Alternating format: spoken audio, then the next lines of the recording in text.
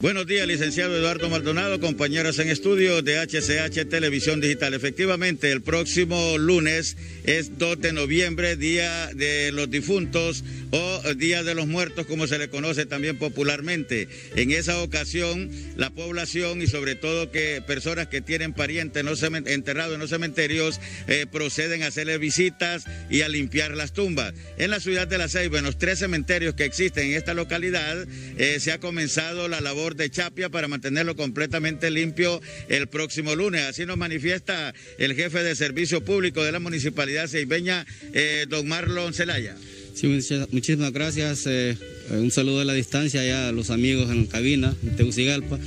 La verdad que sí, como usted hace las tomas respectivas, estamos eh, en la limpieza general de los cementerios que le corresponden a la municipalidad para que el día lunes pues las personas que acudan acá tengan la oportunidad pues de que vean y esté limpio totalmente lo que es el cementerio y así de alguna manera pues vengan a visitarlos y de una manera agradable pues estar acá, aunque no después decirlo agradable, pero por decirlo así es porque muchas veces la gente se queja cuando viene y encuentra los cementerios cuando están totalmente montados. Ahora, los tres cementerios entraron ya en ese proceso de Chapia.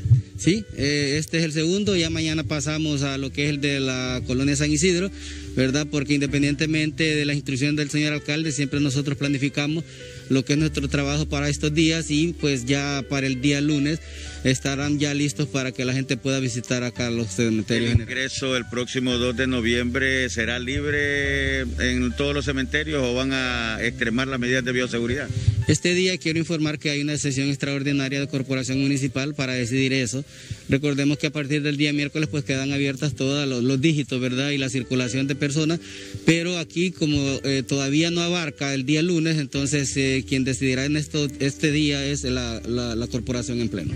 Y muchas gracias, don Marlon Zelaya. El licenciado, también eh, tenemos que decirlo, hay muchos parientes que se olvidan de sus familiares y nunca durante el año no vienen a visitar eh, las tumbas y hay muchas de ellas que están extremadamente sucias, eh, otras pues lógicamente sus familiares todavía le siguen dando pues la limpieza y el mantenimiento necesario. Esto es lo que tenemos que informar desde la ciudad de La Ceiba, donde estamos amenazados a lluvia hoy nuevamente, como puede observarse tenemos un eh, eh, cielo bastante encapotado, eh, una temperatura bastante fresca y hay amenaza de lluvia durante este día en este sector de la Ceiba. Retornamos a estudio con el apoyo en cámara de Carlos Córdoba.